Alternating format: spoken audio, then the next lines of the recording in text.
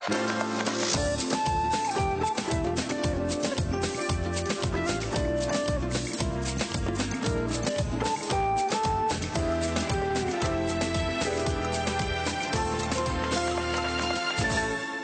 نهاركم سعيد مشاهدينا ليوم الأربعاء 24 أيلول 2014 إنها أولوية الأولويات قضية العسكريين المخطوفين على أيدي مجموعات إرهابية أوشكت في أكثر من جولة على جر الشارع اللبناني إلى مشكلة داخلية. لكن إرادة وقرار القيادات السياسية حال دون ذلك. فالمس بالسلم الأهلي خط أحمر والاقتتال الداخلي على وقع الخلافات المذهبية ممنوع ولكن إلى متى؟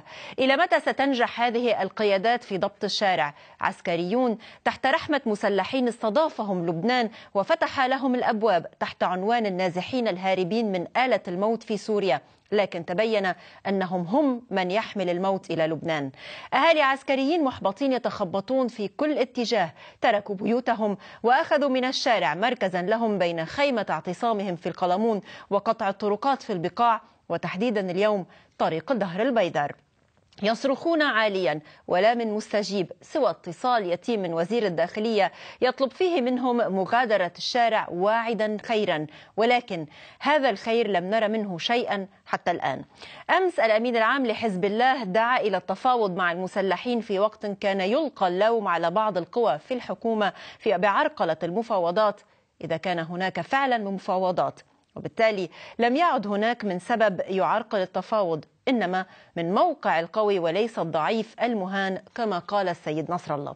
فهل سنشهد تحولا في الملف أم أن القضية مرتبطة بحسابات أبعد من الحدود اللبنانية وتحديدا حسابات لا تريد أن تقتلع شوكة ما يجري في عرسال وجرودها من مشاكل وتهديدات أمنية للأمن والاستقرار من خاصرة لبنان.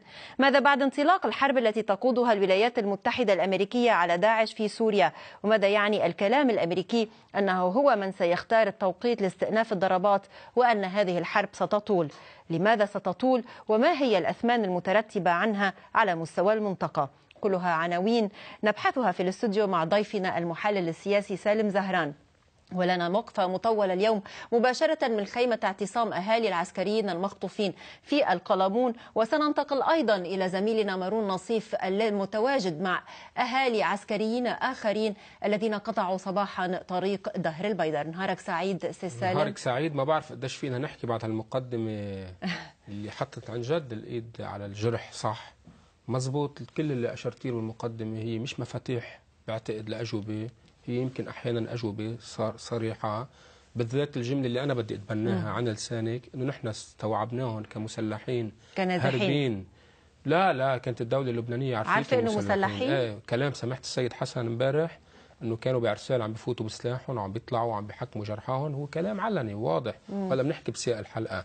الدولة اللبنانية استقبلت هول المسلحين على أساس هربانين من الموت حملوا معهم الموت هيدي الجملة بعتقد أساس إني سوار يعني كبيرة ما. كلمة سوار بد بدك تحطي تحت منها ثلاث أربع طالبين حرية ثلاث أربع يعني. آه، خطوط وقت اللي بده يذبح علي السيد هذا منه ثائر هذا اللي ذبح علي السيد هذا منه ثائر هذا اللي ذبح عباس مدلج هذا منه ثائر هذا اللي رمى بالرصاص محمد حمية هذا منه ثائر هذا اللي عم ببكي عيون الأمهات بالقلمون وبشتوره هلا هذا منه ثائر مصبوط. الثورة مش هيك الثورة إنك توقفي بوجه الموت وبوجه الخطر أحيانا مش بلا سلاح حتى بلا بلا عصاي لأن بتكوني أقوى.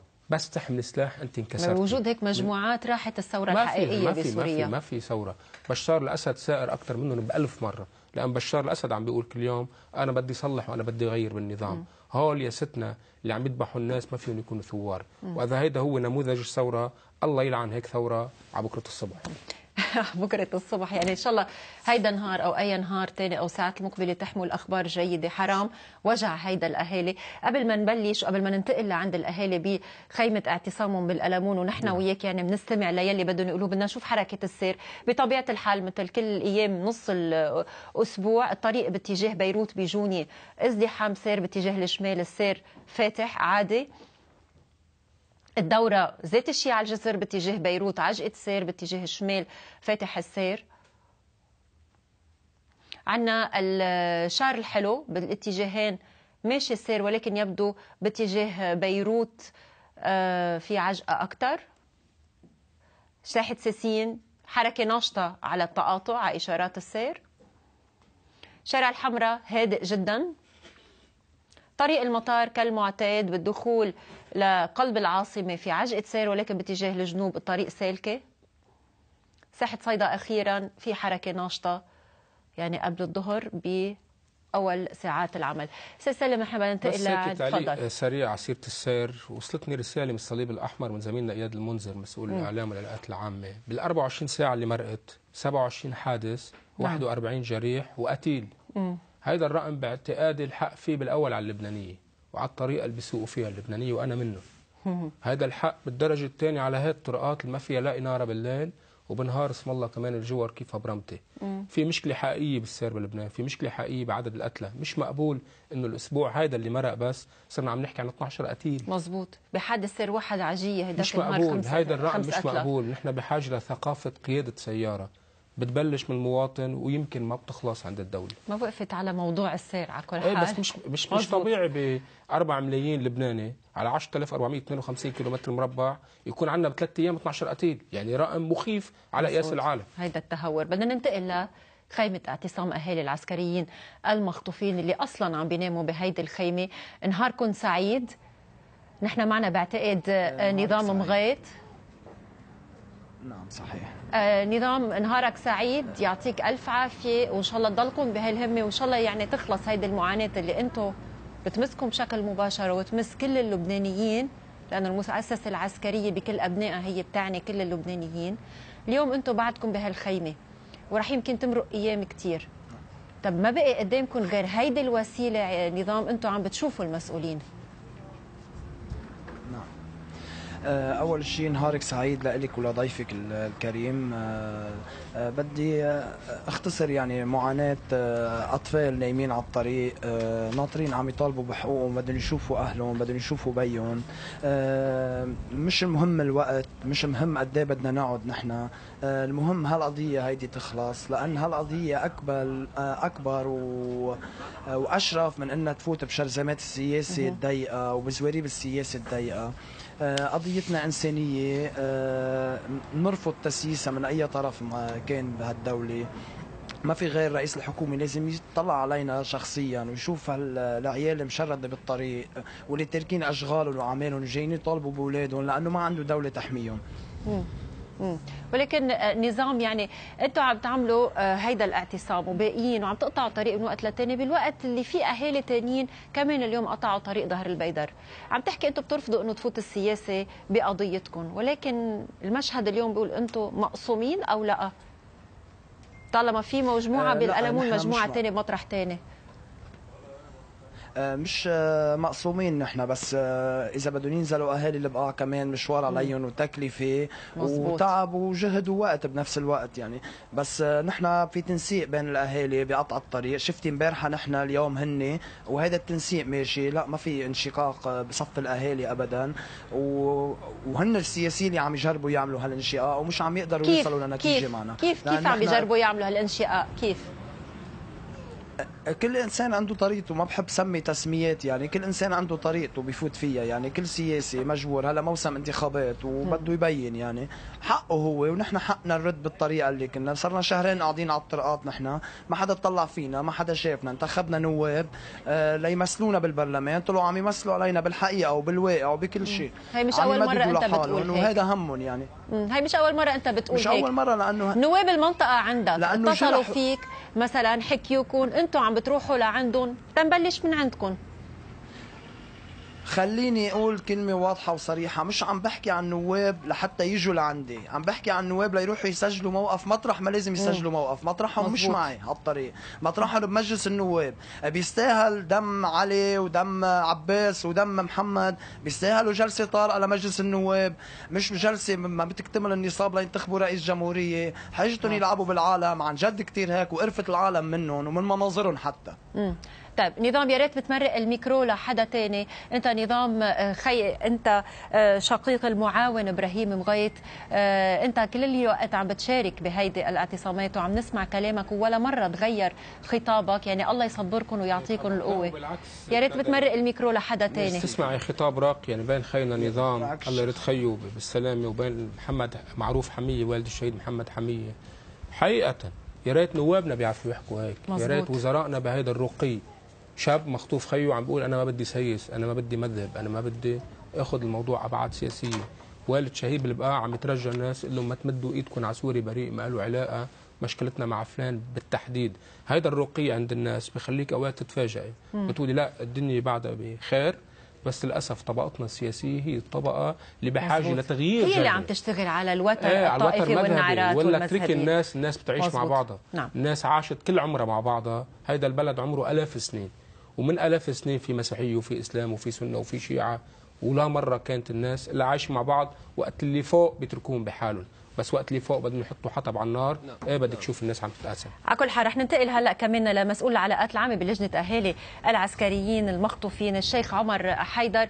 نهارك سعيد شيخ ويعطيك ألف عافية. يعني ما عم تتركوا الخيمة ما عم تتركوا الألمون. حاملين هيدي القضية. حضرتك يعني مسؤول العلاقات العامة. حضرتك يعني بتصير معك التواصل المباشر. أكيد مع مسؤولين. أكيد يمكن بما يتعلق بالمفاوضات. هل في جديد له علاقة بالتفاوض إذا فعلا في تفاوض. للأسف للأسف نحن قلناها البارحة وكل يوم بنقولها الحكومة اللي عندنا عودتنا إنه تزلنا أكثر من هيك وتنيمنا بالشارع أكثر من هيك. إذا ما زلتنا وما زلت شعبها لأنه عندنا احترام كثير لشعبهم ولأبنائهم وخصوصا أبناء المؤسسة العسكرية وأهاليهم. إذا ما زلتنا ما بيتحركوا. فكان اولا نحن تحركنا بدون إنه يتحركوا هن على الشارع. وبدأ الملف بالتحرك آه، وبفتح الملف. ولو كان بشكل خجول. نحن حتى الآن ما في ما في أي بادرة انه آه، يتصلوا أو يخبرونا أو آه، يعطونا أي آه، أشياء إيجابية عن هذا هذا الملف. إلا انه تكتموا بعض الأوقات وتكتموا على الاشياء اللي بتفيد الأهل وبتريح الأهل. ولكن تكلموا بالحسم العسكري اللي خلي بيخلي الأهل هسه يقوم ويقب أكثر ويتحرك أكثر ويصير يخاف على أبنائه أكثر وتكلموا واعلنوها حرب على الدولة الإسلامية. كمان اعلنوها علنا مع انه هذه لازم يتكتموا عليها مثل ما تكتمت عليها الدولة التركية آه، حتى جابت ابنائها وحافظت عليهم وصاروا بين أيديهم وبلشوا آه، ببعض الأمور اللي بتوجه نحو حرب إلى الدولة الإسلامية. تكتموا عليها تكتموا كثير علينا نحن ما اتصلوا فينا ولا حطونا بالأجواء. ولكن آه، الدولة التركية تكتمت إلى ما بعد أن أتت بأبنائها إلى ربوع وطنها وإلى آه، أحضان أمهاتهم. آه، نحن اللبناني الدولة اللبنانية للأسف للأسف الشديد برجع بقول أنه تكتمت لنا بأشياء كثيرة لازم تحطنا بالجو فيها لازم تحط الأهالي لازم تبردهم لازم تخلي الأمهات تنام آه، بإطمئنان لازم أما أما الأمور لازم تتكتم عليها ما تكتمت عليها وأعلنتها حربا كان أو حسما عسكريا. كان وهذا الأمران بيضروا بأبنائنا. شيخ شيخ عمر. أما الأمر الثاني نعم. أما الأمر الثاني من بعد إذنك. تفضل. آه، الأستاذ آه، أنا برحب بالأستاذ سالم زهران. ولكن بقول له كمان آه، قال له الله قال له الله يرحم بي كان يجبر الكسر. قال له الله يرحم بي كان يجبر الكسر قبل ما ينكسر. نحن إذا بدنا نفتش على السبب اللي وصلنا شيخ عمر أنت عم تسيس الموضوع. يا شيخ عمر أنت بقول فأنا بقول لك أنت عم تدور أنت عامل وظيفه لحظة لحظة. هيدا مش من أهل هيدا لك عامل وظيفة. سياسية الله. يرضى عليك يا شيخ عمر أنت عم توظف سمعت سياسي بس خليه يحكي عن يقول. مرتقي مثل مثل عوائل أنا بقول لك أنا لعنه الله على هذا. النظام اللي كان هو ما السبب ما ما تسيس الموضوع. يا شيخ عمر إذا أنت. بدك هن يطلعوا بس من الاعتقال شيء بعض، واذا بس انت بس ب- بمحبه يا شيخ عمر يا شيخ عمر يا. حبيبي يا عيني يا روحي لك. إذا أنت بدك المعتقلين يطلعوا من الخطف شيء وإذا أنت جاي تعمل متراس سياسي شيء ثاني أرجوك. بس ما أنا عم بدعيش. أنا يعني. انتبه. أنا منتمي ل... انتبه يا شيخ عمر. أنا منتمي لمحور سياسي وما بنكر الأمر. بس مسألة المخطوفين نعم. نحن عم نلتزم الصمت. عم نلتزم عم نلتزم الصمت وعم نقول ما بدنا نسيس الموضوع. أنت هلا عم تسيس الموضوع يا شيخ عمر. أنا الله يرضى عليك. خليه يحكي بس ما كمل فكرته وحاج هون وحاج تستثمروا بدم الناس ووجع الناس. أنت ما بتحكي مثل ما نظام عم بيحكي أنا أنا عم يحكي. هذا عم يحكي سياسي بس بعد ما عبر عن فكرته. خلينا نسمعه بعدين فكرته غلط سالم خليه خليه خليه يعبر عن رأيه وبعدين حضرتك بتعلق. تفضل شيخ عمر. نصيحة من سيس طيب، يا شيخ عمر. لا انت ولا احترامي لا انت ولا إحنا إذا إحنا حارسين على الشباب. مع احترامي لك ما تسيس يا شيخ عمر السبب السبب سبب هذه نعم. الفوضى وسبب العسكريين اللبنانيين هو النظام السوري. فنحن بنقول ألا لعنه الله عليه لأنه هو اللي كان السبب. طيب، نحن شيخ عمر شيخ عمر اللبناني أنت ما لازم تكون بالالمون مع داعش والنصر يا شيخ عمر قاعد فوق. انت لازم تكون مع الخاطف مش مع المخطوف شيخ عمر إذا بتعرف إذا بتعرف أستاذ زهران آه، شيخ عمر بس أنا عندي سؤال أنا خاطف أنت خاطف. أنت شريك بالخطف. انت شريك بالخطف أنا مع المخطوط. مع الالمون مع انت مع الخاطفين شوف وانت السبب. أنا عندي أنت مع أبو بكر البغدادي. خليني ساكت أحسن لك. طيب، شوف السبب يا شيخ عمر شيخ عمر إذا فشر فشر انت فشر كل واحد يقول أنا مع أبو بكر البغدادي. بس هذا الكلام ما أنا لازم مع أنا مع الامهات أنا مع الامهات اللي منعت نام أنت مع الخاطفين أنت مندوب أنا مع الامهات التي لا تنام ليلا أه، هذا الاتهام مردود عليك يا أستاذ سالم إذا ممكن تسمعني هذا الاتهام مردود عليك شيخ عمر شيخ عمر إذا ممكن اسمعني إلي. خلينا نحكي بموضوع له علاقة بقضية المخطوفين لأنه القضية هي بتمس كل اللبنانيين. وما حدا بينكر أنه هؤلاء استقبلهم لبنان كنازحين وحتى كثوار وكمسلحين هاربين من الموت ولكن ليه كيف ردوا الجميل. يعني النائب معين المرعبي قال لهم هيك بتردوا الجميل ونحن بنعرف النائب معين المرعبي قديش هو مؤيد للثورة أكن هو والنائب خالد داهر وقال لهم هيك بتردوا الجميل. ولكن ما راح نفوت بهذا الموضوع. أنا بس بدي أسألك سؤال. امبارح آه، طلع خبر إنه في صواريخ طالت المزاور الموجودين فيها العسكريين وإنه هن بخير. أنتم وصلكم شي خبر إنه هن فعلا بخير؟ أنتم تبلغتوا؟ ابدا. ما تبلغتوا عبر أي قنوات إن كان لبنانية أو غير لبنانية؟ ابدا. الا إلا على القنوات اللبنانية التلفزيونية. امم امم يعني إلا على القنوات اللبنانية التلفزيونية. طيب. شيخ عمر إذا بتعمل معروف ممكن تمرق الميكرو لحدا تاني لأنه يكون في أكبر مشاركة ممكنة من أهالي المخطوفين طيب.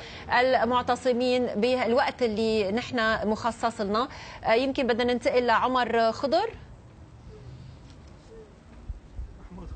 يعني أساس محمود خضر. مش لازم يكون آه لازم يكون بالقلمون السوري مش بالقلمون طيب، اللبناني. هذا منطق لحظة يا ست ندى. منطق تسييس الموضوع والله حرام. أه، لا لا, لا ما يخليني ما يخليني أطلع عن الهوا ويحكي. ما يخليني أطلع عن الهوا ويحكي. أنا بالقلمون اللبنانية. أنت منتحل صفة وأنت عندك خطاب سياسي داعشي وقاعد بين الناس. طيب خلينا بس خلينا على الصبح رايقين ابدا هذا مردود عليك هذا مردود عليك. الهدف هي هذا مردود عليك يا سيدي أنت عم بتضر الأهالي هذا مردود عليك. أنت عم بتضر الشيخ عمر ما تخلينا نضرب على الهوا يعني القضية إذا اللي خاطف داعش ولو عرف اللي خاطف داعش والنصرة واللي ذبح خاين علي السيد هو داعش واللي ذبح خاين محمد حميه البرنامج صوت على الهدف. ونحن ما بدنا نسيس البرنامج.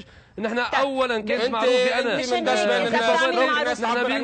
مشان هيك. مشان هيك. إذا بتعمل معروف شيخ عمر تعلم من النظام تعلم من النظام طيب، يا شيخ عمر. مشان هيك. إذا بتعمل معروف شيخ عمر مرق أستاذي من بعد اذنك من بعد اذنك خليني مرة خليني مرة هالفكرة. ما جاي تعمل فكرة سياسية. جاي تعمل فكرة. أنا اول اول انسان اول انسان وهو رد استاذي كل واحد عبر عن رايه بس اذا بتعمل معروف خلي الاهالي يحكوا كمان شيخ عمر من بعد إذنك. خليني مره هالفكره بس إذا بتريد أنا رأيي نحن نحن منا بمواجهه مع نحن منا بمواجهه مع حدا. نعم. نحن قلناها من أول يوم نزلنا فيه على ساحه الشهداء نحن مع الشيطان الأزرق اجى بيجيب أولادنا. يلا احمل حالك مع الشيطان الأزرق. نحن منا بمواجهه مع إنسان. ونحن مع كل إنسان. بيعمل إنساني وبيتكلم بالإنسانية وما بيحور الموضوع وما بياخذ الموضوع إلى أطراف أخرى. لا كان من تيار المستقبل ولا كان من من 8 آذار نعم. ولا كان من أي جهة سياسية. نحن عندنا فصول أربعة. ما عندنا 8 و14 عندنا فصول أربعة. عندنا مذاهب عندنا سني شيعي درزي آه، آه، مسيحي. نتكلم بهذا الأمور.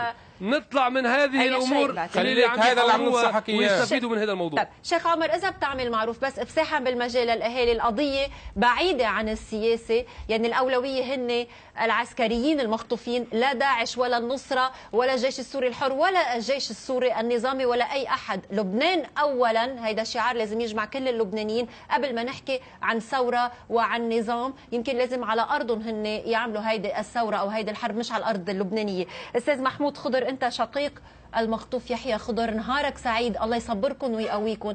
إذا بتعمل معروف تخبرنا توجه رسالة عبر شاشة آه، نهاركم سعيد خاصة بوقت اللي فعلا دايما بتتاخد هيدي القضية بالأمور الأبعد من الهم الأساسي هو هم الأهالي وقت اللي بنحكى فيها بالسياسة تسيس داخليا وإقليميا. تفضل.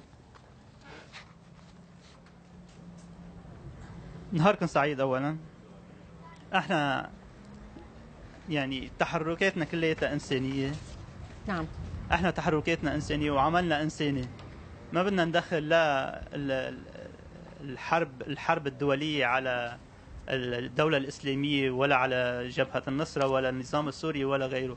هذا كلياته ما بيعنينا. برافو. برافو اللي. بيعنينا إنه بس يرجعوا لنا أولادنا وأهلنا اللي أولادهم عم منو عم يناموا الليل ولا أمهاتهم.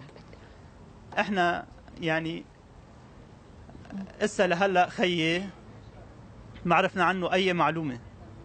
أي معلومة. إلا جريح وده اللي بقلب الإليه. لا الدولة عطتنا معلومات ولا قدرنا وصلنا لأي معلومة. وبدي اتطرق ل البرنامج على ال بي سي.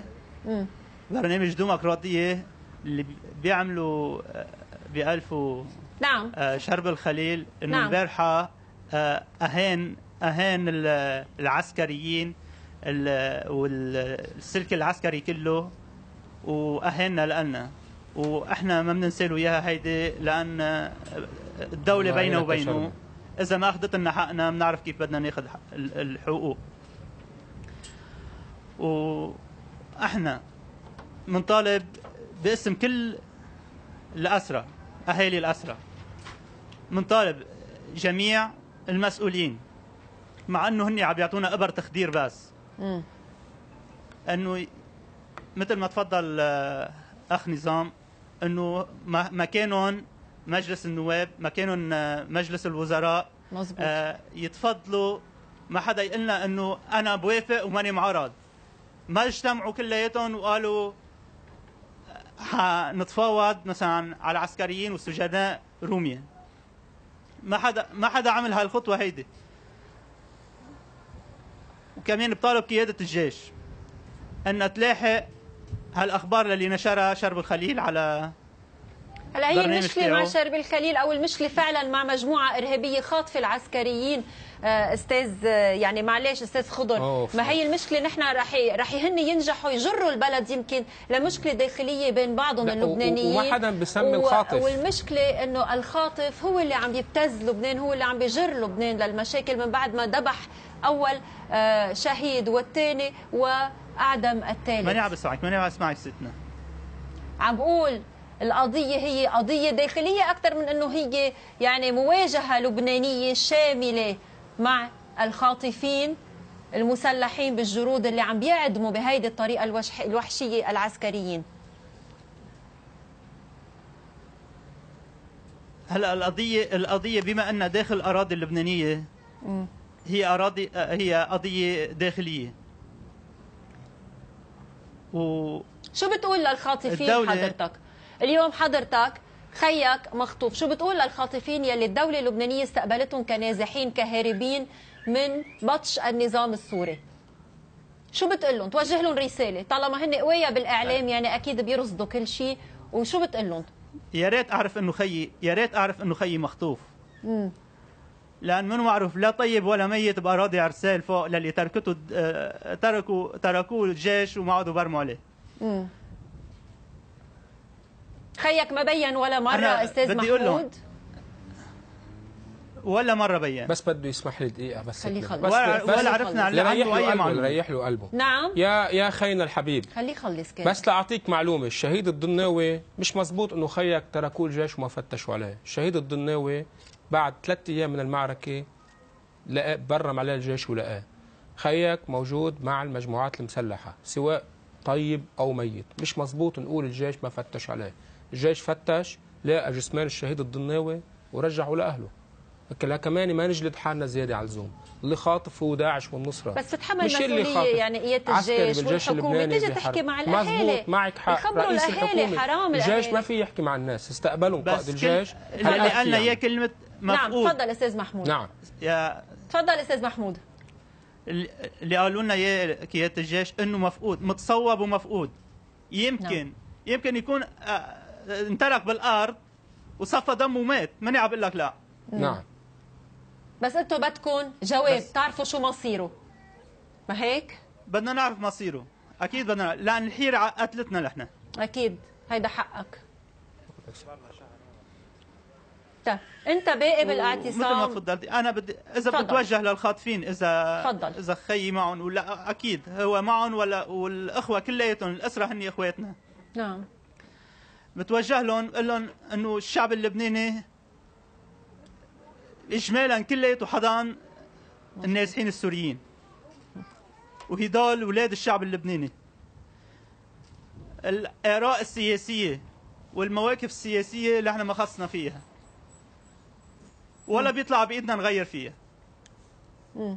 فنتمنى عليهم وبنطلب منهم إنه يتلطفوا بأبنائنا اللي هن أبنائهم كمان لأن مثل ما حضرنا أبنائهم وتفضل قال النائب معين المربي يتفضلوا يحضنوا يحضنوا لنا أبنائنا.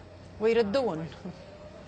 يتركون وبنتمنى اذا إذا خيي مع جهة خاطفة بنتمنى إنها تعلن عنه وتريح لنا تريحنا شوي لأن منا عارفين إحنا عنه شيء بما أن دولتنا منا منا عم تخبرنا أي شيء فيمكن ال- الجهة الخاطفه تكون أحسن من دولتنا وتخبرنا. أستاذ محمود يعني الله يصبركم. على كل حال أنا رح أرجع معكم. طبعا بالشق الثاني من الحلقة مع أهالي تانيين. يوصلوا وجعهم. إن شاء الله رسالتك توصل. بس يمكن نستبعد إنه يكون عندهم إيه رحمة ورأفة إيه، هالخاطفين. إيه، يعني رح نرجع لكم نحن بعد شوي. آه، أستاذ سالم شو عندك تعليق قبل ما نرجع ننتقل لظهر البيدر كمان؟ الحديث أو القول إنه والله يمكن يكونوا الخاطفين عندهم الرحمه أكثر من الدولة هو حديث منه دقيق. أنا بفهمه بالعاطفة ولو أنا مطرحهم يمكن أحكي مثل يمكن عم صرنا بستوكهولم سندروم إذا بس كمان اللي الواحد بيذبح اللي بيذبح علي السيد وبيذبح عباس مدلج وبيذبح محمد حمية هذا ما يتوقع إنه يكون عنده رحمة. هيدا مش حل. هيدا كلام يائس على أستاذ مزبوط. معك حق. معك حق بس كمان في شقين لا لقواس على الجيش اللبناني بينفع مزبوط. ولا تحييد النصرة وداعش رح ينفع بده ينحكى مع السلطة السياسية بده ينحكى مع رئيس حكومة تمام السياسية؟ تمام قال الرئيس تمام سلام رح يحكي بنيويورك، بدي أسألك. سؤال يا ست ندى نعم أي أفضل نسكر طريق ألمون وشتورة على الناس الرايحة وجاية على شغلها ولا نروح نقطع طريق السرايا الحكومي قدام بيت تمام راحوا. يروحوا يتظاهروا قدام بيت. تمام شوف الأسلاك يروحوا الشائكة اللي انحطت ويصمدوا وال- ويبقوا يروحوا يدوروا على المصالح الدول الصديقة لهالمجموعات. يروحوا يدوروا على السفارة التركية والسفارة القطرية. يروحوا يدوروا على المطرح اللي بنصنع فيه القرار. يروحوا يتظاهروا قدام سجن رومي ويمنعوا ال- الشركاء بيخطفوا أولادهم انه يفوتوا يشوفوهم مثل ما. عملوا يعني أهالي مخطوفي إيه, اعزاز إيه ومثل ما عملت أوميجا هيدي هيدي الحركة صحيحة بس هيدي الحركة بدها تطور يلي يلي اعتصمت قدام سجن رومي هونيك المطرح الصح. مش أنا أنا بفهمهم وأنا عم بقول لك لو أنا مطرحهم بعمل ذات الشيء.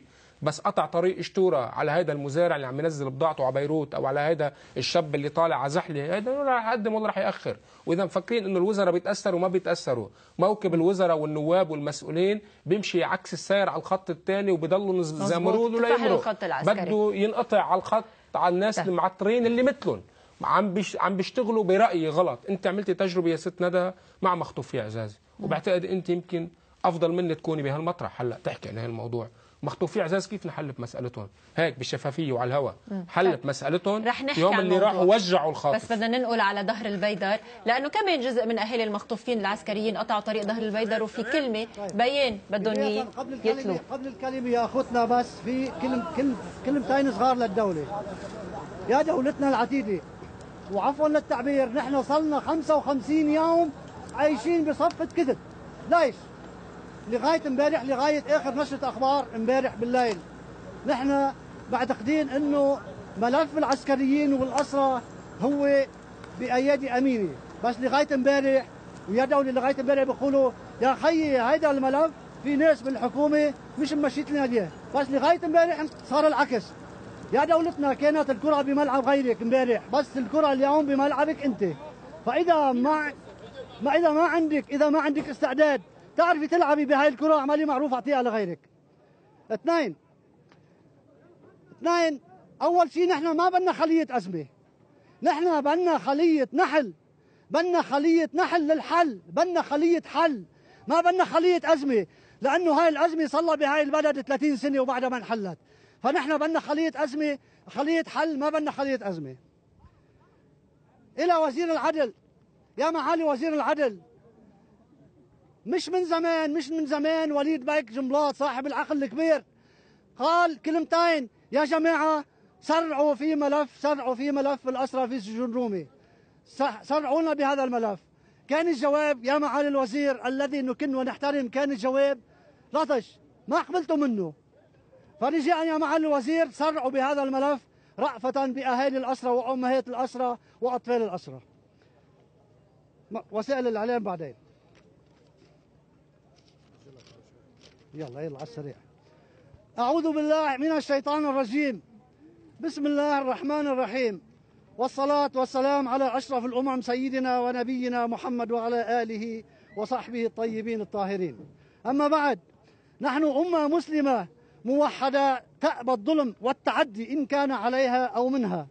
ومن هذا المنطلق فإننا كأهالي مخطوفين همنا الوحيد رجوع أبنائنا المظلومين بأي ثمن وبالتالي نربع بدولتنا الإنصاف في ملفات المسجونين في سجن رومي ومن الذين قضوا سنوات دون محاكمات عادلة ومنهم قد تخطى مدة سجنه مدة محكوميته وهذا الظلم بعينه وهو ما أدى إلى ما نحن فيه اليوم. وأيضا النظر في وضع المعتقلين حديثا لدى قوى الأمن لدى قوى لدى القوى الأمنية والجيش إذا أمكن ذلك. نتمنى من الخاطفين ثالثا نتمنى من الخاطفين الرأفة بأسرانا وأحبائنا وبقلوب أمهاتهم وزوجاتهم وأطفالهم. ومما يبرد قلوبنا هو أننا على يقين بأنهم يعاملون يعاملون معاملة حسنة.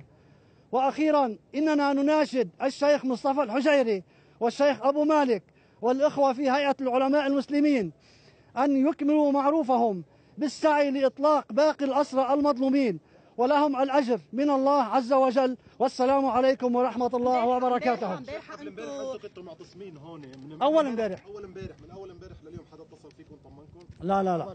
لا لا لا لا. امبارح التقت زوجة علي البزال بجبهة النصرة أو بالخاطفين. هل أنتم تلقيتوا وعود بلقاء نحن ذويكم لا لا يعني نحن لا حدا حتى وائل حتى الأسير وائل حمص بعد ما اتصل فينا نهائيا. وهذا شيء هذا ورا وائل بن الرحمن ثلاث اسرى وريان سلام. هودي ثلاث اسرى بعد ما حكى بعد ما حكوا مع اهاليهم ولا مع زوجاتهم فرجاء رجاء إنه أي رسالة توصل ل- للخاطفين رأفة باهاليهم وزوجاتهم انه يتصلوا على القليل يبرد همهم شوي. طيب هناك اتصالات شيخ هناك اتصالات لفتح الطريق لإمتى رح تضلوا مسكرينها؟ هلا هلأ بعد شوي هلأ بعد شوي. بس أنا عندي بس أنا عندي نداء. أنا بناء نداء إلى أهالي الاسرى ولا إخوتنا جميعا. نحن كلنا محترقين. نحن كلنا قلوبنا محروقة. بس هذا النداء هذا نداء من صاحب العقل الكبير وليد بايك جنبلاط. يا أخوتنا نحن شوفوا النازحين النازحين الأبرياء. النازحين الابرياء حرام نظلمهم نحن إذا ظلمناهم نحن بنكون عم نرتكب جريمه النازح السوري ما له ذنب. نحن نحن مشكلتنا مش مش مع النازحين. نحن مشكلتنا اليوم مع الدولة. وبس. هذا كل ما عندي. ما جاوبتني عن الطريق الطريق رح تنفتح شيخ؟ مع التفاوض. يا حي السيد حسن نار نحن لغاية امبارح لغاية آخر نشرة أخبار امبارح نحن كنا معتقدين إنه القصة القصة مسكرة عند السيد حسن. عرفت كيف؟ تبين لنا اليوم إنه العكس. تبين لنا انه العكس القصة عند الدولة. نحن مشكلتنا اليوم مع الدولة. فيا دولة شوفي شو بدك تعملي من أجل الإفراج عن اسرانا شيخ شو بدك تقول شو بدك تقول للمواطنين؟ اليوم الطريق مسكرة لإمتى باقيين؟ أنا للمواطنين أنا أول شيء نحن نحن بدنا للمواطنين. للمواطنين أنا باسمي وباسم اهالي الأسرى. نحن بدنا نعتذر من كل مواطن سببنا له تعب وإزعاج. بدنا نعتذر من كل مواطن ما وصل على وظيفته. بدنا نعتذر من كل ضابط من كل ضابط بالجيش وعسكر صغير وكبير نحن اخرناه وسببنا له إزعاج نحن بدنا نعتذر من هاو كل الناس كل الناس لأنه ما لهم ذنب.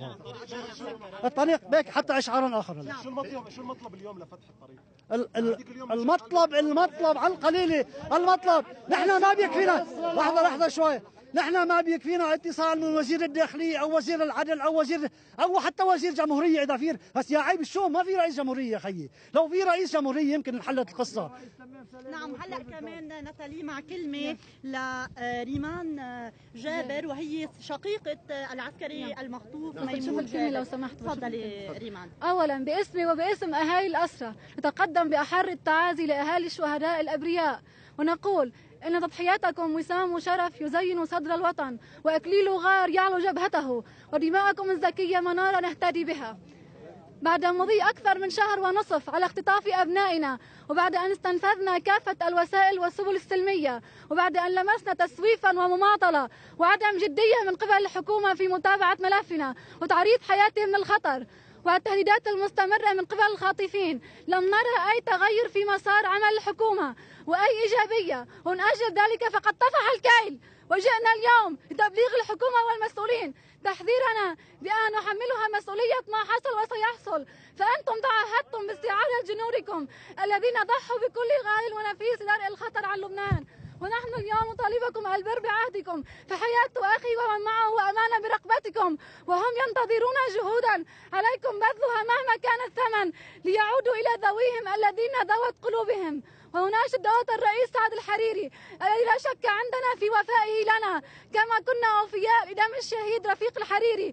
فأنت يا شيخ سعد قادر على المزيد من أجل إخراج أسرانا. ولوزير العدل نطالبك بجعل ميزان العدل.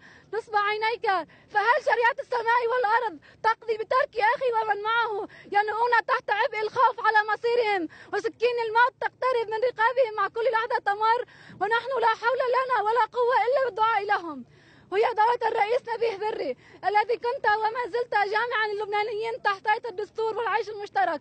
فقم كما عهدناك ونحن على يقين من ذلك. وإلى الرئيس وليد جنبلاط طلبت بالمقايضة كما وعدتنا وكنت سباق في المطالبة. فشكرا لك وألف شكر. ونتمنى من كل الأفرقاء أن يحظوا حظوك والعلماء المسلمين نشكر جهودكم. ونتمنى أن تتابعوا المسيرة ونناشد كل اللبنانيين الذين كانوا أوفياء للوطن.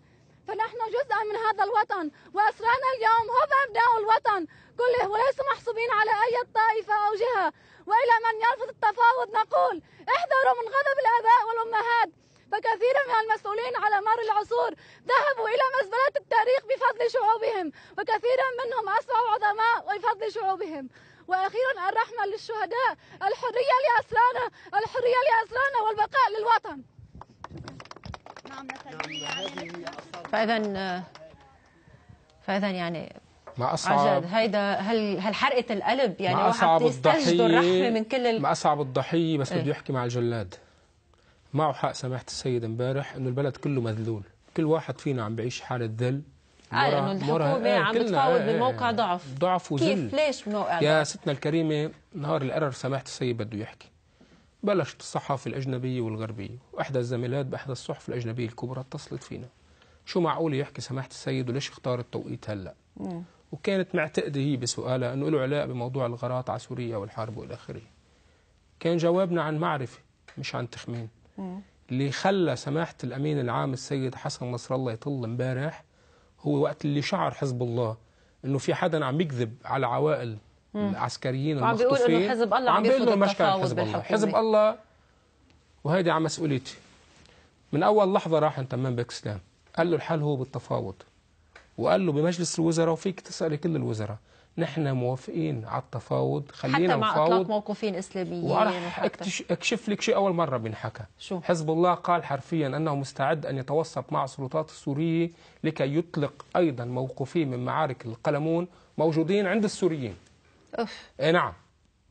وهن بيعرفوا هالحكي. وتمام باك سلام سمع الحكي بدايته. حزب الله جاهز على أن يساهم في إطلاق المخطوفين حتى لو اضطر أن يستخدم مونه إطلاق السيد حسن لدى النظام من ما في معارك مش أول مرة. أنت بتتذكري مخطوفين عزاز رهبات معلولة. السيد حسن اتصل بالرئيس الأسد بمونته الشخصية بمحبته الشخصية وتم إطلاق موقوفين. اليوم حزب الله جاهز على أن يساهم في هذا الملف من موقع القوة مش من موقع الضعف. بدك تعملي حل جدي وحقيقي مش معه حق تمام باك سلام وقت اللي قال. إنه نحن عملنا اتفاق عبر الوسيط القطري ما بتعدموا وبنفاوض.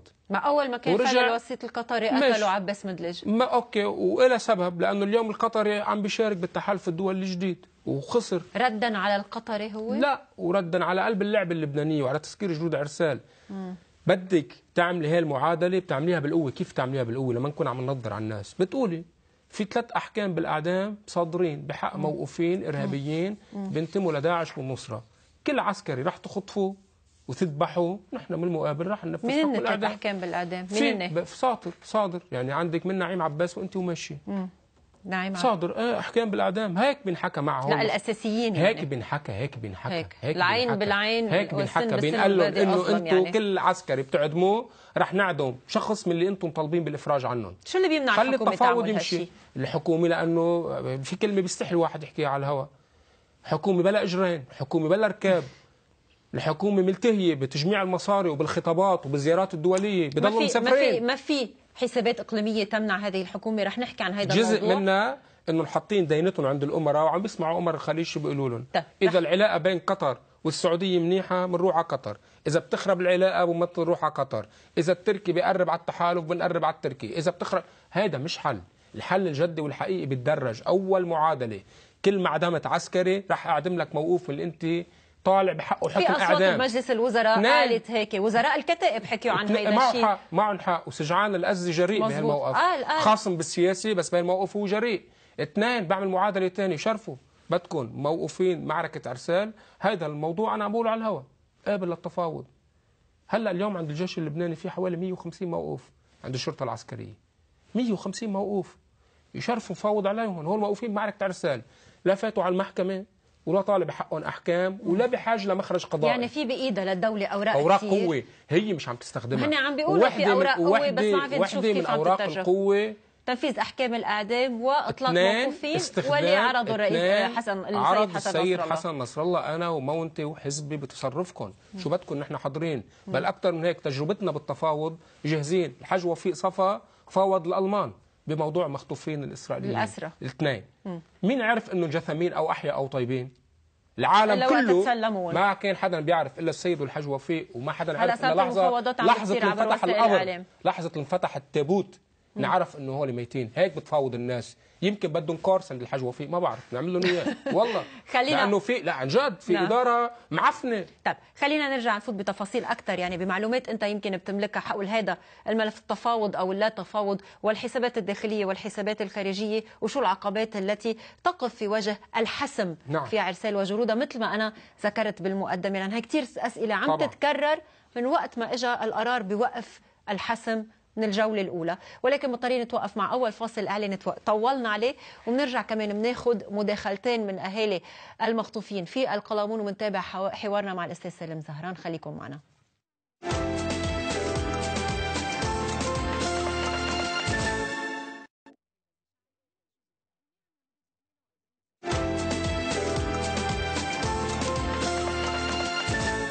متابع حلقتنا بالمحور الثاني. أستاذ سالم أنا بدي أسألك يعني لافت بكلام والد أحد العسكريين نعم. المخطوفين.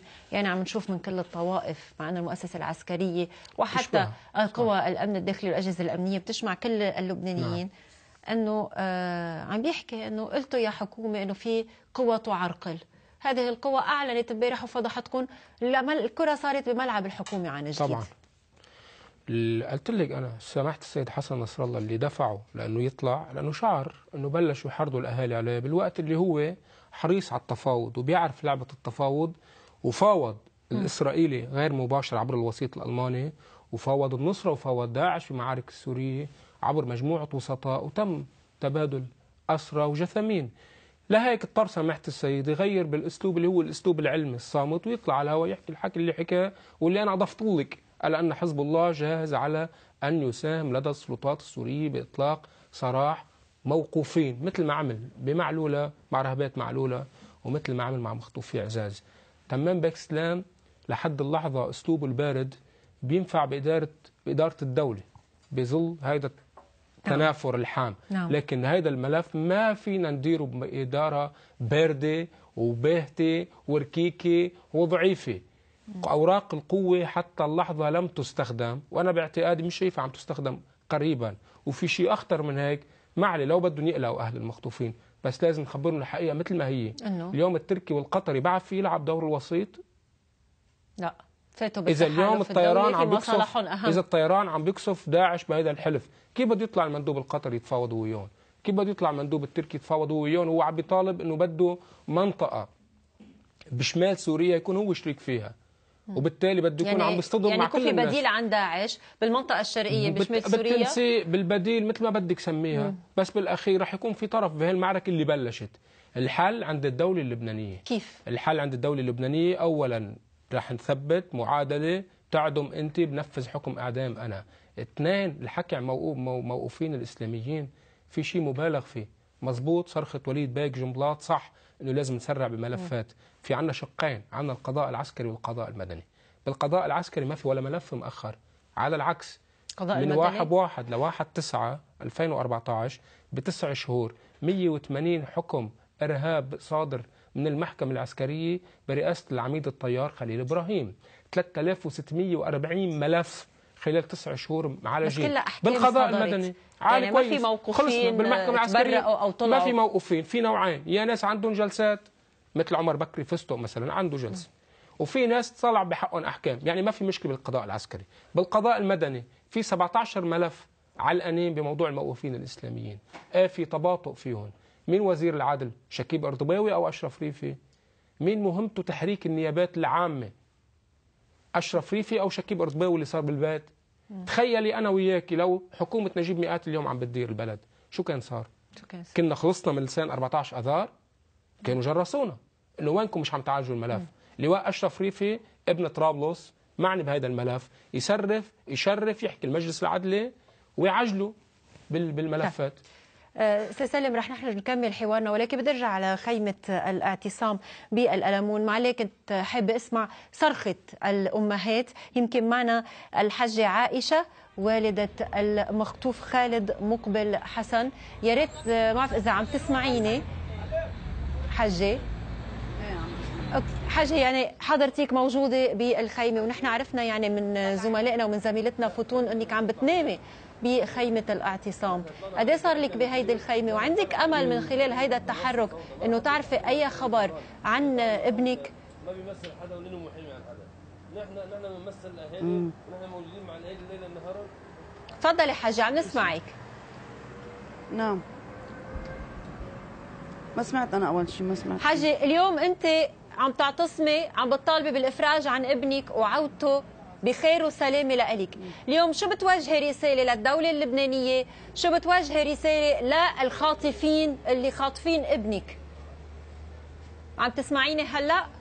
بوجه رسالة إيه بوجه رسالة للخاطفين إنه أنا آه بترجاكم أنه ابني معكم و... ونحن قلبنا معكم. و أنه ما بعرف. شو بتقولي؟ شو بتقولي لابنك؟ بقول له لابني الله يحميك.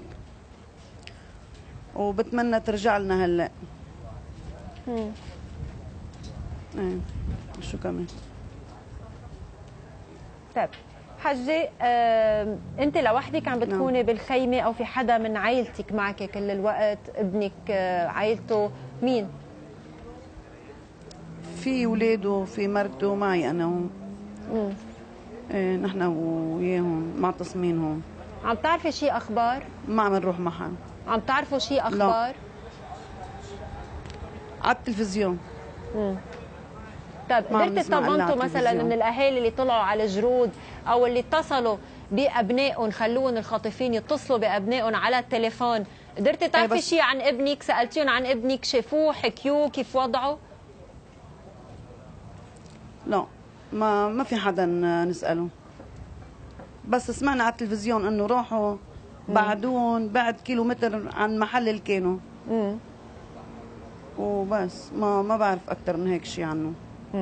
طيب حاجة. يعني آه، في غيرهم إنه اتصلوا بأهلهم وحكوا مع أهلهم.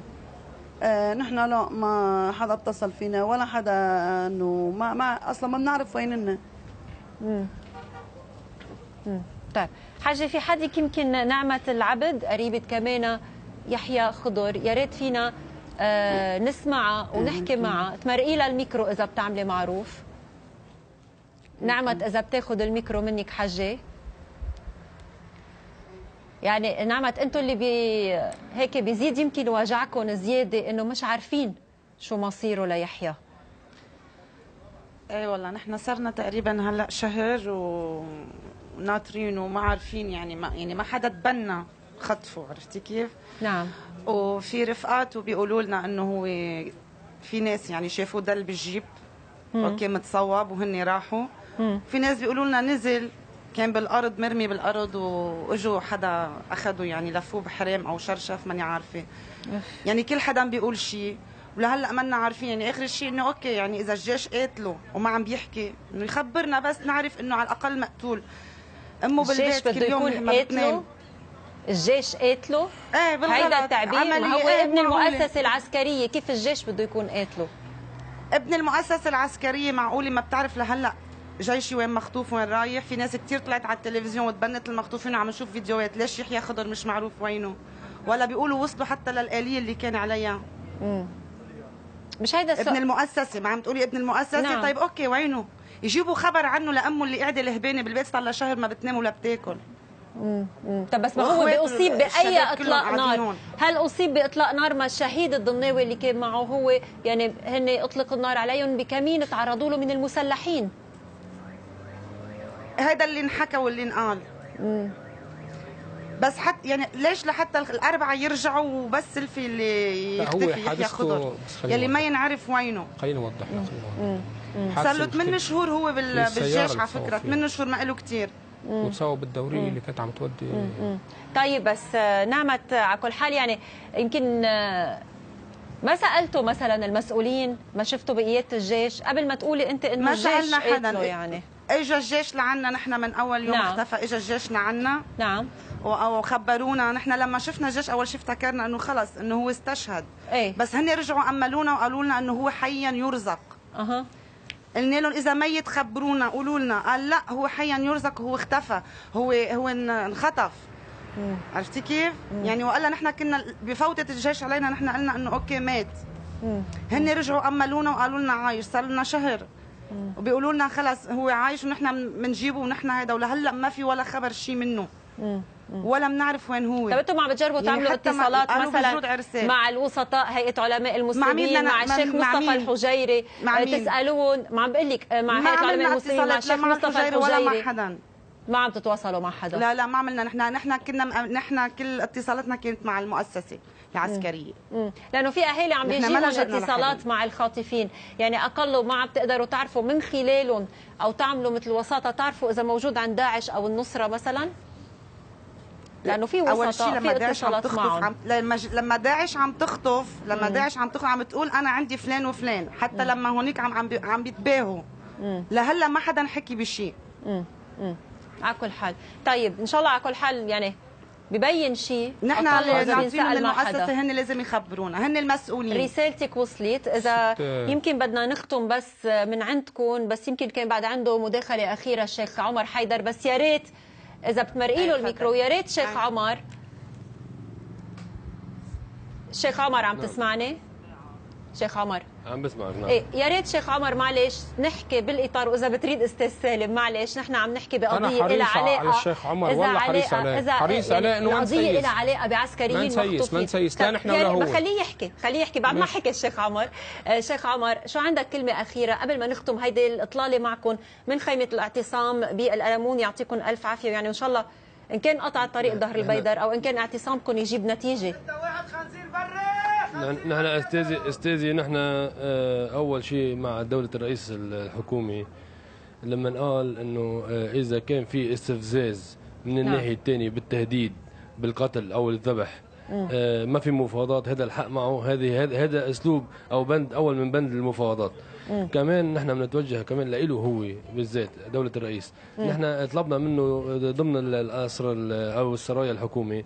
إنه نحن معك آه، إنه هن عم بيهددوا ممنوع تفاوض هن عم بيهددوا ما تفاوض لأنه هذا منه أسلوب مفاوضات كمان من ناحية ثانية كمان نحن أولادنا عندهم أستاذ سالم لو ابنه أو أخوه عنده ما كان بيحكي هذا والله معك. أنا يا شيخ عمر معك الله معك يخليك يحكي. أنا عم بقول لك ما بدنا نسيس لهيك جماعات معك أنا معك يا عمر جماعات أنا عم بقول لك ما بدنا نسيس لا يليق وأهل أولاد اولادنا بس هو ما عم عم بيسيس ما عم بيسيس الشيخ عمر عم- عم يحكي عن عم القضية. ليش لنفوت النظام السوري. ومدري مين نحن يا, ما- يا نحن ما عمر عم امبارح. السيد حسن نحن عم ما بيقول عم أنا. حاضر طلع مخطوفين من عندي لحتى أفرج عن أولادكم آه. ماشي مش نوع من نحن- نحرف الموضوع مش بنحرف خلي- الموضوع. خل- خلي حلال خلي خلي عمر- شيخ المفاوضات عمر، تكون بدي أسألك. على الدولة اللبنانية. نعم. عم تحكي نعم. حضرتك عن و- الدولة اللبنانية وعن الرئيس الحكومي ولقاءاتكم معهم.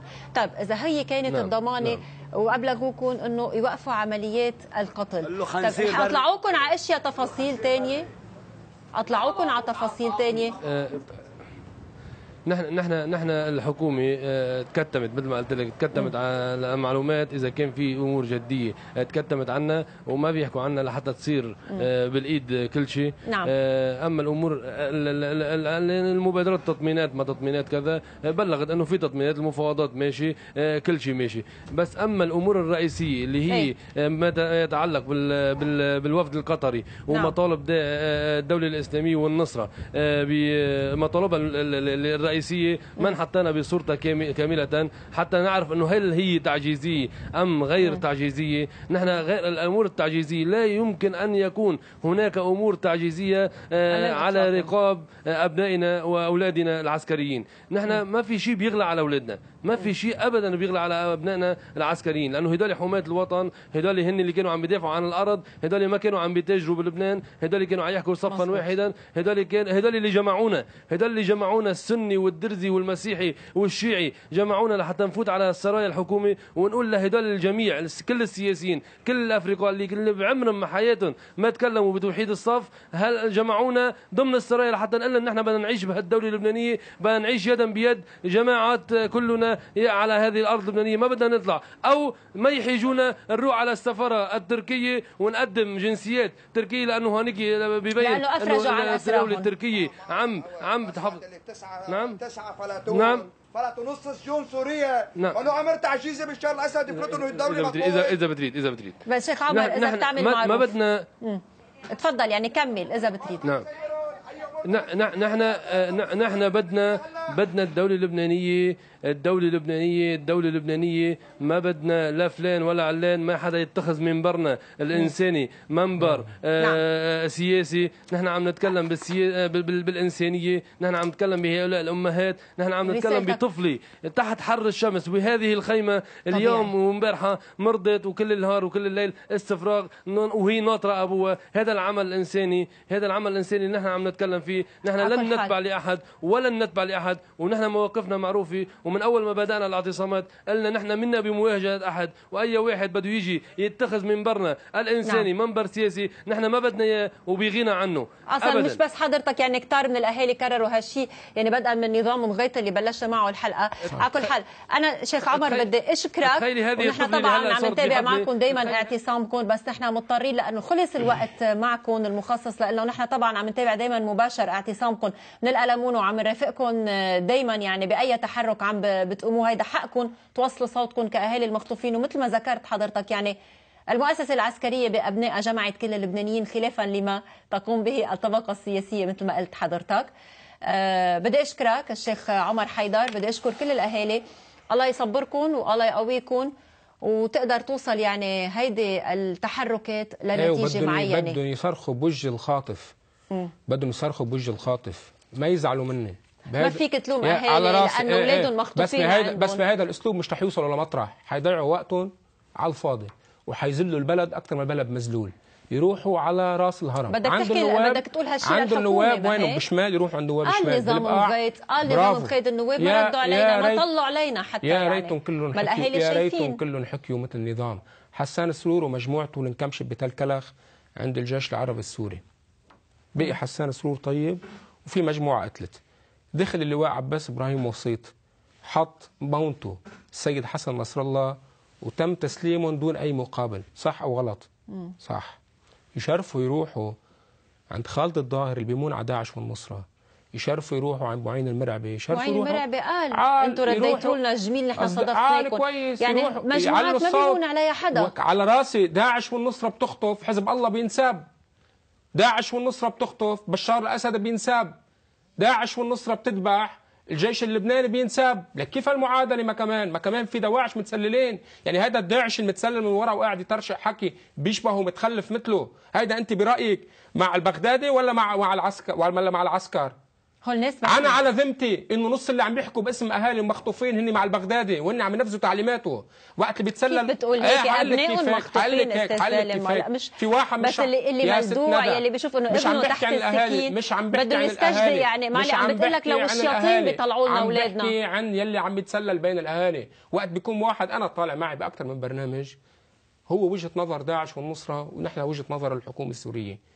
شوي بيطلع قال الناطق الرسمي باسم الأهالي. شو لك علاقه بالاهالي لا مخطوف لك خي ولا مخطوف لك أب ولا مخطوف لك ابن. وأكثر من هيك انت مع داعش والنصرة. يعملوا وفد اللي هن مع داعش والنصرة بلبنان اللي بايعوا الدولة الإسلامية بمسجد طرابلس تقوى يعملوا وفد ويطلعوا على الجرود ويقولوا لهم خي سلموا لنا أولادنا. برأيك في حدا بيمون على هيدي نحن جبنا؟ حسان سرور. ما حدا. نحن جبنا طيب، حسان سرور اللي كان عم بيقاتل الجيش السوري. توقف مع تاني فاصل إعلاني لأنه ما عم بلتزم اليوم ابدا بالأوقات المفروضة للبرنامج. رح توقف مع تاني فاصل إعلاني وبنرجع بنتابع حوارنا بالشق الأخير منه.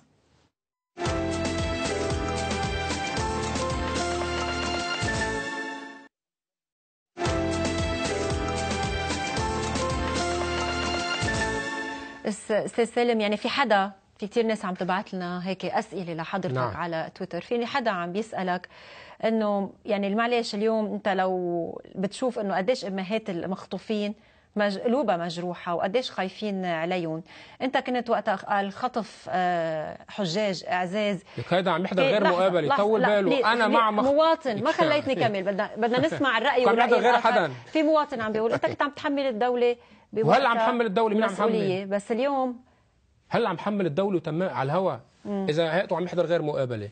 يتحمل مسؤولية اليوم الدولة والحكومة ورئيس الحكومة تمام باك سلام مم. شو أنا مين عم حمل؟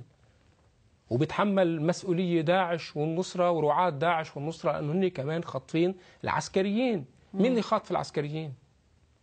منظمة الصليب الأحمر الدولي لنحملها المسؤولية أو داعش والنصرة. مم. أولا الحكومة تتحمل مسؤولية.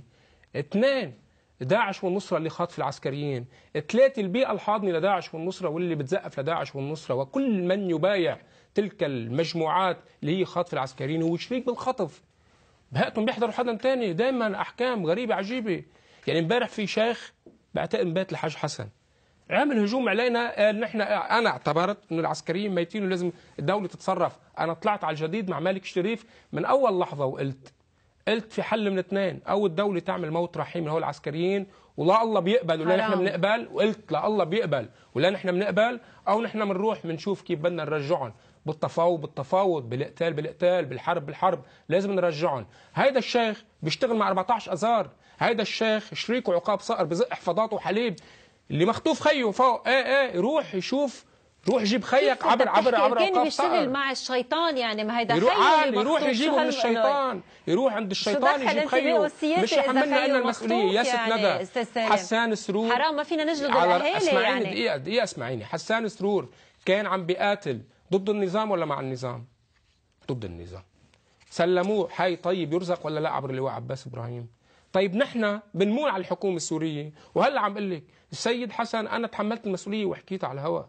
سيد حسن بلغ الحكومة اللبنانية نحن حاضرين نشغل مونتنا وقت. وقت اللي بتعوزوا طيب نحن عم نشغل طب اليوم. الأهالي قالوا الكرة عال- أصبحت بملعب عال، الحكومة. برافو. يعني الأهالي مدركين للواقع مش كل وعارفين شو عم الأهالي. بيصير. الأهالي في جزء من الناس المدسوسين بيناتهم عندهم أجندة سياسية.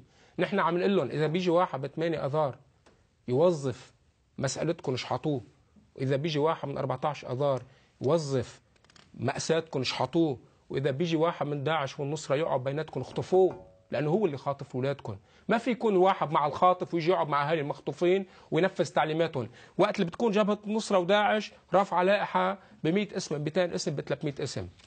شوي هيئة العلماء المسلمين بتقول بدنا عفو عام على كل المساجين ال- الإسلاميين والإرهابيين. معقولة وسيط طلباته أعلى من طلبات الخاطف. بس هيدا الوسيط بالمرحله؟ الأولى طلع عسكريين مخطوفين. أو أثمرت يعني. مفاوضاته. هيدا الوسيط وقت اجفت عرسال أطلقوا العفريت النار عليه. يعني حتى هو وصل لمكان هيئه علماء المسلمين تعمل العفريت شيء. إذا العفريت الأزرق في ساعة بهذا الملف أنا مع العفريت الأزرق.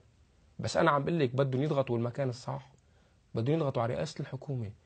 بدهم يضغطوا على وزارة الداخلية. بدهم يضغطوا على وزارة العدل. مطرح ما موجود هذا الملف. هذا الملف بإيد ثلاثة رئيس الحكومة وزارة العدل لأنه في موقوفين وملفات عالقة نعم. وزارة الداخلية اللي عندها يمكن الإخراج ووزارة الدفاع اللي هي بتنفذ تعليمات السياسية تطلع بتسب على بشار الأسد شو له علاقه بشار الأسد سيبك إنه أنا مع بشار الأسد طيب بس ما بيتحمل لحظة؟ لحظة شو هون وصلنا؟ على بشار الأسد بشار الأسد ما بيتحمل ما إيه. بيتحمل مسؤولية هالنظام ما بيتحمل مسؤولية هيدا النظام يلي في مليون ونص نازح من المواطنين السوريين هربوا من الحرب هونيك ومن نعم. القصف عليهم وموجودين على بلبنان ودايما من عهد الرئيس برافو. سليمان في تحذير إنه في قنبله موقوتة وقد يكون بيناتهم مدسوسين. يعني اللبنانيين عم يدفعوا الثمن. النازحين السوريين عم يدفعوا الثمن يعني النظام. منه بريء لا بتشكرك على السؤال اولا يوم اللي وقف جبران باسيل اللي هو وزير بالتيار الوطني الحر وقال يا جماعة حاج تستقبلوا هول النازحين وفي ازمه بهول النازحين. يا ست ندى مين اللي وقف بوجهه لجبران باسيل؟ حزب الله وحركة أمل أو الشيخ سعد الحريري؟ الشيخ سعد الحريري. اثنين الحكومة السورية بلغت من أيام قليلة تمام باك سلام عبر المجلس الأعلى اللبناني السوري اللي هو القناة الوصل بين لبنان وسوريا. في 3000 وحدة سكنية صاروا جاهزين بدمشق لايواء هؤلاء النازحين. شرفوا بعتوهم شو كان الجواب؟ إيه وبكرة وبعد بكرة. مش أنا اللي عم بقول. رشيد درباس وزير الشؤون الاجتماعيه المحترم. اللي قريب لفريق 14 أذار. هو اللي عم بيقول إنه في حدا بلبنان عم بيسمسر على هول النازحين السوريين. وإذا بيوصل لهم 10 دولار بيكون واصل لهم بالأساس 100 وحاطط 90 بجيبته يعني عم يدفعوا الأمرين السورية السوريين. بلغت عبر المجلس الأعلى اللبناني السوري مم. رئاسة الحكومة اللبنانية شرفوا نحن حاضرين نستقبل النازحين السوريين. مش أي بخيار نازحين؟ أي نازح أي سوري؟ بده؟ يطلع هو حاضر. شفنا بلا سلاح 2000 شخص يلي فلوا من قاعدين بقدسية، أنا بشرك وقعدوا. على المصنع. لا لا لا. وفاتوا عبروا لا ورجعوا رجعوا لا لا لا وطلع لا معلومات إنه ما بده إياهم لا مش مزبوط مش. مزبوط. وصلوا على المصنع. لا في قدرة للأمن العام. يختم لهم ولا في قدرة للأمن العام السوري يختم لهم بلحظات. اليوم هن موجودين بوحدات سكنية بمدينة قدسيا أنا على ال بي سي. ال بي سي اللي اليوم خطها واضح إنه هي بالنص بين كل الناس. مستعد أطلع أنا وياك على قدسيا تعملي مقابلات معهم. مم. وتشوفيهم وتحاوريهم وتسأليهم وتصوريهم. كانوا بعرسال عايشين بخيم ذل. هلأ بقدسيا قاعدين ببيوت باطون. طب هلأ شو بيمنع طلب يطلع. الحكومة السورية؟ عرضت. وين بدهم ياخذوهم وشو الضمانات حرية يا, لسلامتهم يا ست ندى. وقت الحكومة السورية بتقول هو هذا مواطن سوري. طيب شو بنعمل ها؟ قديش عدد؟ يطلعوا بلشوا يطلعوا. أي مواطنين؟ من أي مناطق؟ من أي بلدات؟ في مناطق محظورة إنه يرجعوا أي عليها اهاليها مواطن سوري. مم. مش حامل سلاح سوريا بتستقبله ونحن مش أو مجبورين بتترك فيه. لنا اللي حامل طيب سلاح وبتترك يلي عم بيقاتل الجيش أنت اللبناني. وبتترك يلي عم بي لا طيب وبتترك يلي عم هيدا بيروح على الحبس الجيش هيدا هيدا اذا بيجي مع سلاح وبتروح الحبس اللي عم ما يخطف الجيش بتتركوا هيدا بتاخذوا على اللبناني الحبس كيف يعني؟ يعني النظام مثل وقت انسحب الجيش؟ السوري سؤال من سؤال. لبنان ترك بؤر؟ أمنية عم بدك إياهم يبقوا عندك ولا بدك اياهم يروحوا على سوريا؟ ما النظام عم يعمل غربله حاد لا عم بيرجع. المدنيين عم بيخلي المسلحين لا ليش؟ لأنه مسلح. هو مش رح يقدر يروح عند النظام يا ندى. كمان نكون واقعيين. أنت مسلح سوري. ترجع عند النظام بتسلمي حالك؟ بيكون الحق على النظام ولا بيكون الحق على الدولة المعفنه اللي فتحت الحدود لمن كل حدب وصوب وإجتنا كل الناس؟ نحن سيبنا حدودنا. نحن تركنا حدودنا. كم يوم كم خبر نزل على الوكالة الوطنية على مدار السنوات بيقول انتقال 20 جريح من المسلحين السوريين إلى مستشفيات كذا. وإلى مستشفيات كذا وإلى مستشفيات كذا. مين كان عم بزقهم؟ الدولة اللبنانية أو الدولة السورية؟ الدولة اللبنانية. ليش بدنا نكب مصايبنا على الآخرين؟ أنا اللي عم بقوله. هلأ ليش الآخرين بدهم يخلوا لبنان ولا دائما الاضعف إيه انت تحديدا سوريا. مين رفع أعلام المعارضة السورية؟ ومين امبارح بمسجد التقوى أعلن طب وفي الدولة مين الإسلامية؟ يقاتل بسوريا للنظام رأسي يلي هو حزب الله. بسوريا. شو قال السيد حسن؟ قال السيد حسن امبارح بس شو له. حزب الله بهاي المعركة؟ تيعزموا يروحوا يتقاتلوا بنرجع للسؤال الأساسي اللي بيطرحوه. طيب الحكي بيطرحوا عال- نص. الشعب اللبناني. بيطرحوا نص الشعب اللبناني. ليه السعوديه السنية. وليه قطر السنية؟ شو بدك بس لجاوبك إذا بتريدي إذا بتريدي ما- ما فيك- ما. تعرفي السؤال. ليش السعودية السنية؟ وليش قطر السني وليش الأردن السني وعفوا على هالكلمة. اليوم عم بيقاتلوا داعش وعلى قلب الناس مثل العسل. وليش حزب الله وقت اللي راح بده يقاتل داعش؟ صرنا نقول ليش رحت تقاتل داعش؟ حزب الله لحد اللحظة شو عم بيقول؟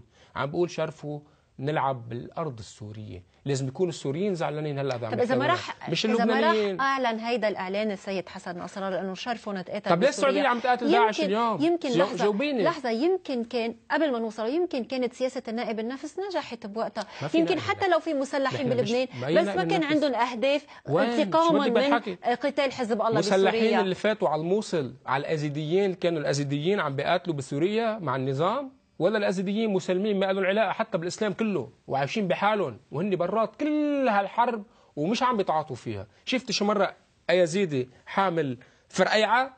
هذا مفهوم داعش غير عم نحكي عن. الثورة السورية غير ما عم نحكي عن الجيش السوري. الحر السوري المعارضة السورية المعتدلة طيب سؤال. يعني معليه هيك ساعتها ما في بتكون ما واحد حق يلي انقرضوا الثوره السلميه اللي انقرضوا الديناصورات مثل الديناصورات صاروا طب بعد ما بيجوا هيدول. كمان مين اللي عم بيقتلوا انقرضوا مين أنا ما علاقه بي- نحن لبنانية أو سوريين بس مين اللي عم بيبيدهم؟ عم بيبيدهم داعش والنصرة نحن- يلي- نحن لبنانيين يلي هن أعداء نحن- مش بس المعارضة، نحن لبنانيين. أو سوريين نحن لبنانيين آه. أكيد. الجيش اللبناني عم بخوض معركة مع داعش والنصرة صح أو غلط؟ ما حدا عم بيعارض آه لا المعركة. مش مزبوط مش مزبوط. امبارح خالد الظاهر كان عم بيعارض الجيش اللبناني وامبارح كان عم يتطاول على جان قهوجي طب بس خالد جان الظاهر أشرف ببي- منه. خالد الظاهر لو ينتمي إلى كتلة ولكن لا يمثل كل الكتله بيمثل- رئيس هذه؟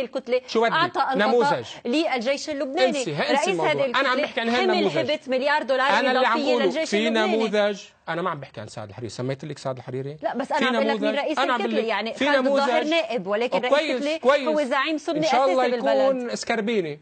في نموذج موجود اسمه خالد الظاهر. موجود بالبرلمان نائب. وأنا عم بقول لك في كتار بفكروا مثله. وهذا اللي كان عم بيعربش ونط ويسب. هيدا بيع... هيدا مثل خالد الظاهر نفس النموذج الداعشي.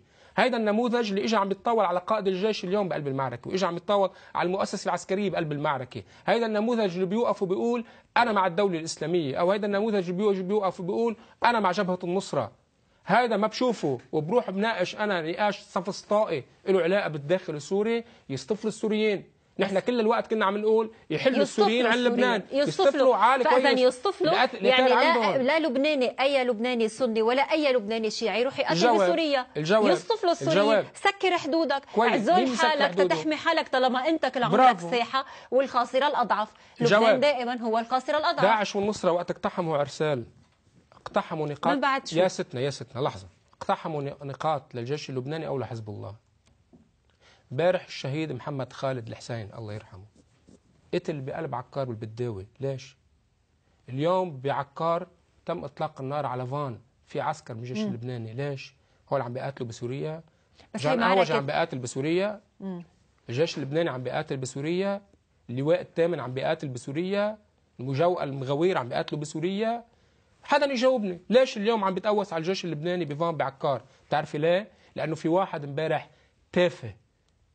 حرض على الجيش اللبناني لأنه مين؟ في واحد داعشي اسمه خالد الظاهر بالبرلمان اللبناني هو نموذج لأكثر من شخص موجودين عم بيحرضوا على الجيش اللبناني امبارح بيتحرض على الجيش اللبناني اليوم بيتم إطلاق النار عليه ليش بدنا نتخبى وراء أصبعنا شوي هيدي السلطة الأسد. السياسية يلي بتحاسب عال هي السلطة السياسية مين في على راسها؟ ومجلس النواب يلي مين في على. راسها أنا وأنت؟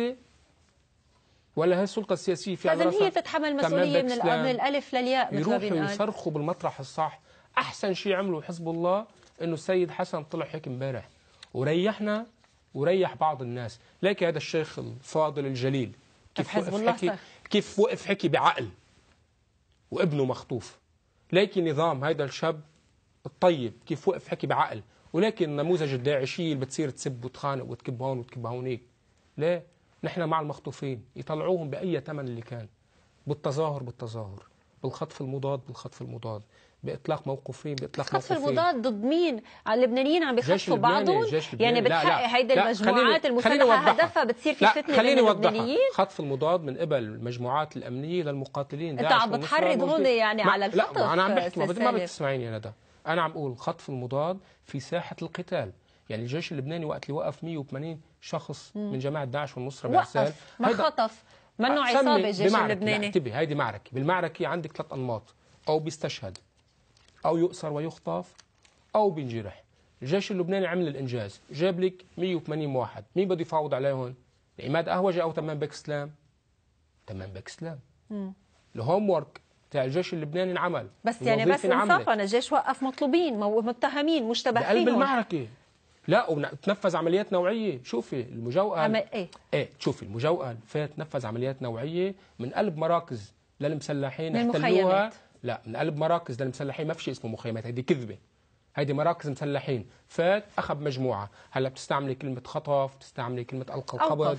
بدك منه-. منه أنا مخبيها الجيش وياكي أنا وياكي هو أنا وقف. وياكي مش قاسمين بس بقلب المصطلحات العسكرية وقت بتفوتي على نقطة الخصم مسيطر عليها بيقولوا خطف منا والخطف مش دائما هو شيء سيء. وقت بتخطي داعش ونصر ونصرة لحتى تبدليه ممكن يفاوض على هيدول؟ هيك هيدي شو أوراق القوة؟ عند هلا شو هي أوراق القوة؟ بس بدك القرار السياسي. ها ها شفتي وين؟ أول ورقة قوة أنا بسكر الحدود بين جرد عرسال وعرسال قبل الشتاء. ثاني ورقة قوه طب بس ما في عسكريين تاني- مخطوفين بالجنود كيف بتسكر هيدي كويس. الحدود وهي طريق إمداد أساسي للمسلحين. عندن- وممكن يبتز لبنان بهيدا الموضوع. عندهم أكل لأنه يمكن طريق الإمداد أهم سمعت- بالنسبة لهم من الموقوفين الإسلاميين. البزال شو حكيت امبارح؟ نعم. شو قالت؟ قالت عندهم أكل وشرب بكفيهم أنا وقت اللي بقول طريق الإمداد مش عم بحكي عن الاكل والشرب عن المازود عن المحروقات عن المازوت السلاح عم بحكي عن السلاح عم بحكي عن المازوت اللي بيستعمل لنقل الاليات الكبيرة عم بحكي عن قطع الغيار عن هذا أنا عم بحكي بس أهالي عرسال بيقولوا عندهم مقالع وكسرات وبنعرف نحن الحجر العرسالي. وبنعرف من شو بيعيشوا أهل طيب عرسال؟ وبنعرف كمان خط؟ ال- مين كيف مين؟ احتضن هول المسلحين يا ست ندى؟ أولاد عمشيط، أولاد تنورين، وأولاد الدكوانه، أولاد آه، بيروت، عم تحكي بكار، أولاد عرسال مسلحين طيب انصافا يعني مش مسلحين يعني عائلات نساء أطفال آه، وين نساء وأطفال؟ عجز الهجم على الجيش اللبناني من قلب. أخذوا دروع قال شرع بشرية؟ لا مش. مزبوط مش مزبوط شو قال عماد أهوج للنهار وبعتقد موضوع العسكر أكيد بيفهم أكثر مم. مني ومنك وبيعرف المعلومة الدقيقة مم. قال مهنية عرسال تم الهجوم عليها من قبل مع... عسكر مسلحين إرهابيين من داخل مخيمات النازحين السوريين من قلب الخيم طلع حاملين سلاح يكفي الكلام أستاذ سالم طيب شو شو بدك يكفي أنا الكلام. والله معهم يكفي وشو الكلام. شو بدك شو ما أنا بيقدر الجيش إذا بده يحسم أنا عم لك. ما بيقدر الجيش إذا بده يحسم يسكر ديناه ما. والسلطة السياسية ما في- ما في. ويتصرف حسابه هيدا الإحباط اللي لا. أصيب فيه. الجيش على الأرض وكنا انقلاب. كإعلاميين نتابع الأرض. وقتها بيجي قرار بين ليلة وضحاها بوقف؟ الحسم بوقت اللي كان على خطوات مين اللي عمل هيدا القرار؟ الحسم مين اللي عمل القرار الرئيس نبيه بري أو السيد حسن نصر الله أو تمام بك سلام؟ مين اللي اتصل بقائد الجيش وقال وقف لي المعركه؟ ليش؟ له تمام سلام قائد الجيش ما في يعمل انقلاب ويفتح حسابه في وزير دفاع في رئيس حكومة إذا حدا متوقع إنه الجيش اللبناني يعمل انقلاب بيكون غلطان اثنين نهار الجمعة عم تدعي هيئة العلماء المسلمين بفك الحصار عن عرسال اولا عرسال مش محاصرة. المحاصر هو جرة عرسال اللي فيه هول المقتلين ما بقى نكذب على الناس ونعمل قنابل دخانية. كنتوا عم تكذبوا وعم تقولوا السيد حسن نصر الله وحزب الله مانعنا طلع السيد حسن نصر الله وكشف كل وراء وقال نحن مش مانعين برأيك لأنه إحنا ونحن بعد مع عنا التفاوض. أقل من دقيقة من الوقت. من بعد كلام امبارح السيد حسن نصر الله بموضوع العسكريين ووضح الأمور. نعم. اليوم غير أمس. أو رح تكمل الأمور على المستوى السياسي والمعالجة السياسية والتفاوض كما هي. لكن هالمثل شو حلو؟ إنه اللي بيكون نايم فيك توعيه. بس اللي بيكون عامل حاله نايم ما فيك توعيه. في ناس من نحن الثانية إيه إيه. في جزء من الدواعش اللبنانيين عاملين حالهم نايمين ومش شايفين. هول مش رح يوعوا ولا رح يحسوا شو بدي بالدواعش؟ عم؟ بحكي عن الحكومة. الحكومة مع السلوك داعش يا الحكومة. وقت الحكومة ما بدها ما بدها؟ تطلع بأولادها وما بدها تعمل كيف جهد. سلوكها حقول لك داعشي؟ ليش سلوكها ظلم بحق حقول لك الحكومة ليش سلوكها سالم. حقول لك ليش سلوكها داعشي وقت الحكومة بدها تترك أولادها هيك متروكين للقضاء والقدر وهن بس عم يتفرجوا. يكون سلوكها داعشي هي الحكومة عندها بالآخر دقيقة معادلة. تعدم بنفذ حكم اعدام واحد عندي مجموعة موقوفين بأحداث عرسال في مجموعة النظام السوري في يعطيني إياها بجمعهم مع بعض بروح ببادل عليهم. عندها أوراق عاد تفاوض فينا فينا نبادل مرة واحدة على الكل بيكون كويس. فينا نبادل على مجموعات خي بنبادل على مجموعات. بس ما في يقول تمام سلام عنا أوراق قوة ويحمل حاله ويفل بس ما هو رايح يحكي كمان بهيدا الموضوع. لشوف إن شاء الله هو خير. قال من إن شاء الله. خير. عم نضيع وقتنا الحل هون. الحل مش هونيك مش بنيويورك. نيويورك مش فاضيين عم بفكروا بالرقة وبداعش وبضرب القواعد وحياتك مش فاضيين ولا سامعين وجعنا ولا سامعين أنيننا ولا لهم علاقه فينا بس بدهم استقرار. لبنان. بدهم لبنان يهز.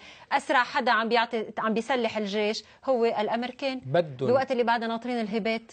بدهم لبنان يهز بس ما يوقع. وأنا إذا بيجي سلاح للجيش اللبناني من أي دولة بالعالم باستثناء إسرائيل أنا معه. أنا مش السعودية أنا مع السلاح السعودي. أي سلاح من أي دولة بالك- بالكرة الأرضية إلا إسرائيل لأنه عدو. نحن مع هذا السلاح. ومشكورين. عم عم بتشارك بالتحالف الدولي آه، بالحرب ها، على خبرونا داعش كل الوقت كانوا يخبرونا يقولوا لنا إنه هو هيدا هاي المجموعات الشيعيه عم تضرب أهل السنة بالرقة. طيب شرفوا السعودية شو اللي كان طيران امبارح عم يضرب الرقه روم أرثوذكس؟ شو الأردن؟ كاثوليك مثلا؟